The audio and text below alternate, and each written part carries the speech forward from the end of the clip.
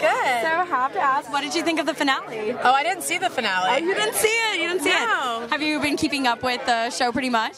No, I haven't watched any of it this year. No? I've been like crazy busy with projects. Well, tell me about that. What projects are you working on? Um, I am getting ready to direct a movie. It looks like we're just waiting for our financing to finish coming through, and um, like any day, I'm get, waiting for the call to say, okay, we're starting production. So that's been my number one thing, and then I'm also rewriting another script that I'm executive producing.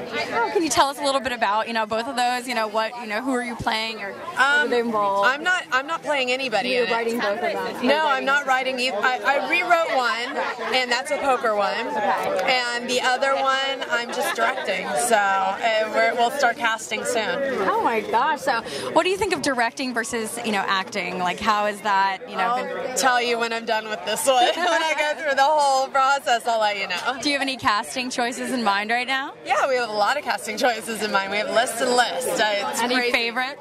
Yeah, but I can't tell you. All right. So, um, you know, are you and Derek still pretty close? You know, or, you We're friends, Yeah. but you know he's been a little busy right now, so I haven't talked to him in a while. Definitely. All right. Well, great. Good. Thank you so much. Thank you.